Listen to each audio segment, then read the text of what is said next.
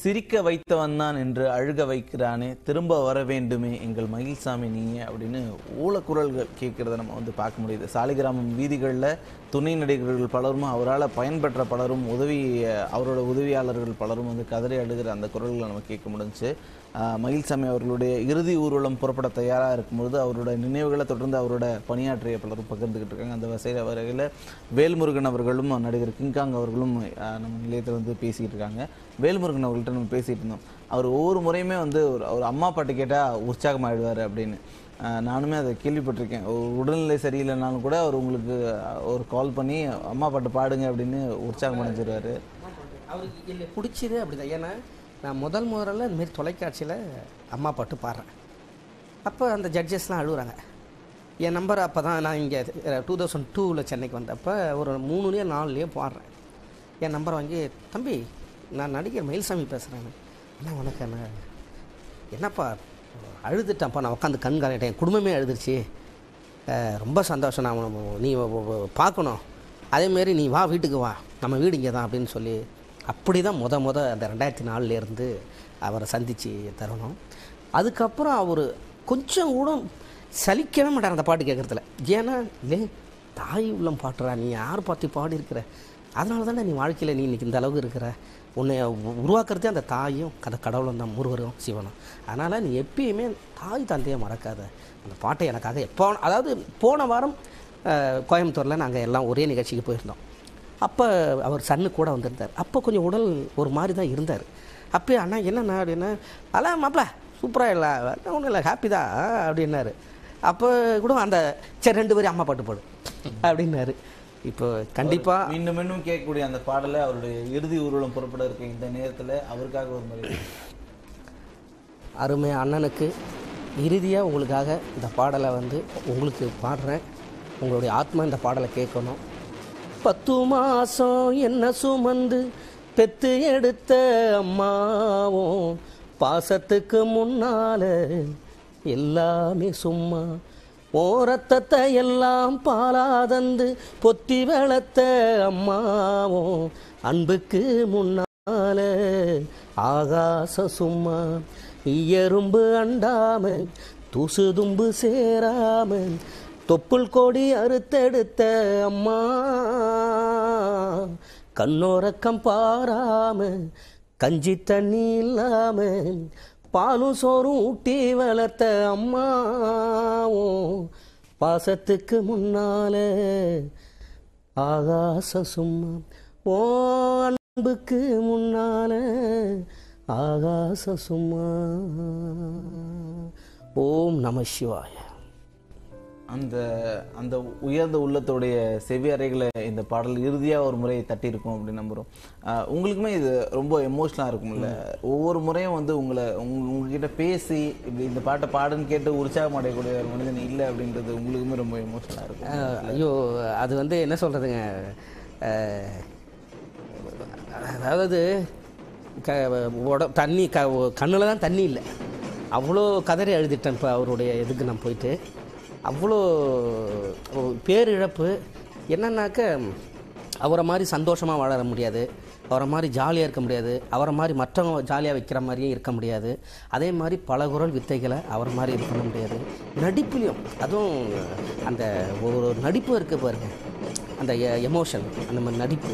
அதுவும் ரொம்ப அதாவது அவர் ப பல்வேறு வித்தகர் அவர். அதை சொல்லப்போனால் நல்ல விஷயத்திலும் சரி நடிப்பு விஷயத்திலும் சரி.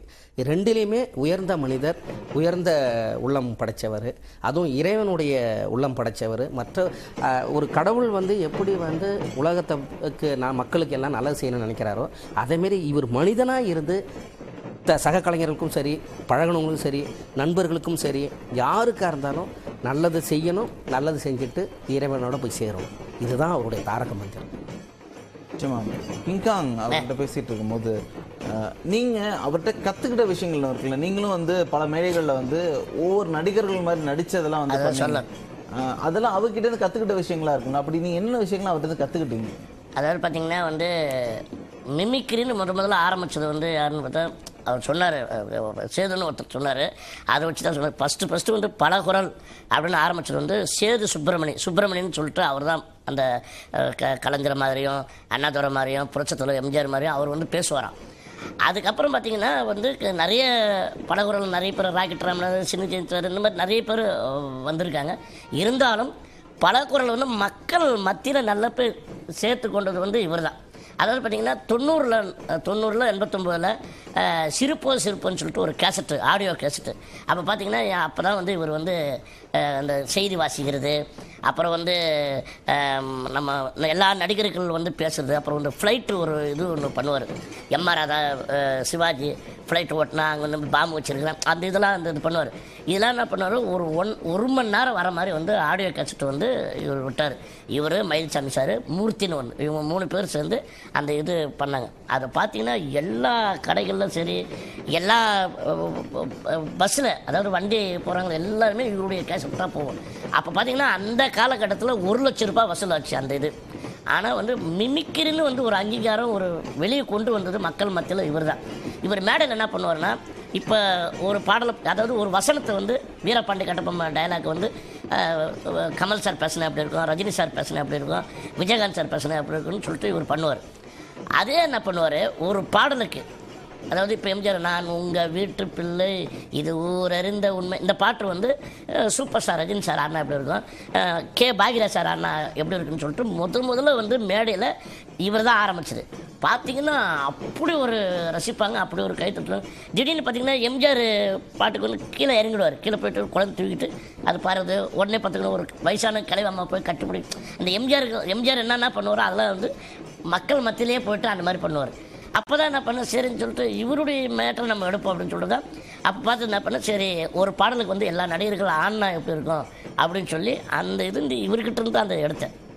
அதே மாதிரி பார்த்தீங்கன்னா அந்த ஸ்டேஜில் வந்து யாரும் வந்து இது பண்ணக்கூடாது. அந்த அவருடைய நம்ம ஒரு மேடையில் எது பேசணும் எது பண்ணாலும் நம்மளை தான் பார்க்கணும். அந்த செதற விடக்கூடாது கொஞ்சம் கேப் விடக்கூடாது அதாவது ஷார்ட்டாக இருக்கும் ஸ்வீட்டாக இருக்கணும்னு சொல்லுவார். ரொம்ப லென்த்துலாம் போகக்கூடாது அதாவது அவங்கள வந்து சிந்தாமல் சிதறாமல் நம்மளே தான் இது பண்ணணும்.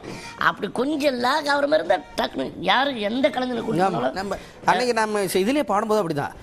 மாப்பிள்ள உடனே இந்த இது மாத்து. உடனே இது பாடிடு. இல்லைன்னா உடனே போய் வாசி ரொம்ப அங்க மிமிக்ரி ஆர்டிஸ்ட்லாம் கூட்டு போய் பண்ணுவாங்க. பண்ணுவோன்னு அங்க மக்களுடைய மக்கள் அதாவது எப்படின்னா இப்படிதான் இருக்கணும் மக்கள்.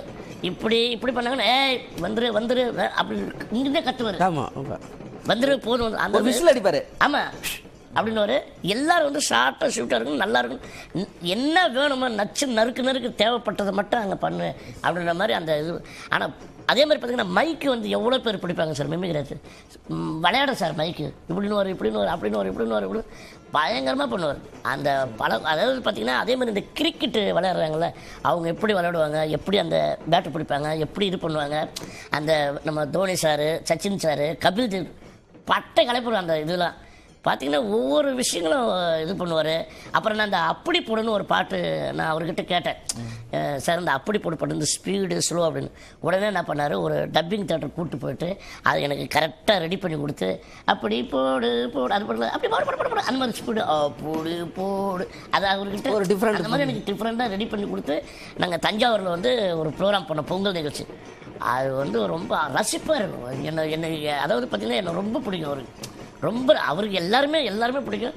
இது வரைக்கும் சார் அவர் வந்து இந்த மாதிரி மயில்சாமி இந்த மாதிரி ஆஹ், அப்படின்ற வந்து ஒரு தப்பான இதுவே நான் கேட்டதே இல்லை இது கண்டிப்பா. எல்லாமே நல்ல மன மயில்சாமி அவர்கள் வந்து பல்வேறு பலகுரல் மன்னர்களுக்கு வந்து குருவா இருந்திருக்காரு அப்படின்னு சொல்லலாம். அவருடைய குரு அப்படின்னு சொன்னா அவருக்கு வாய்ப்பு கொடுத்த பாக்கியராஜ் அவர்களும் தொடர்ந்து அவர்களை வந்து திரையில காட்டிய பார்த்திபன் அவர்களும். அவங்க ரெண்டு பேரும் அவங்களுடைய சிஷ்யனை இழந்துட்டு என்ன பேசுறாங்க அப்படின்றத கேட்கலாம் கடைசி வரைக்கும்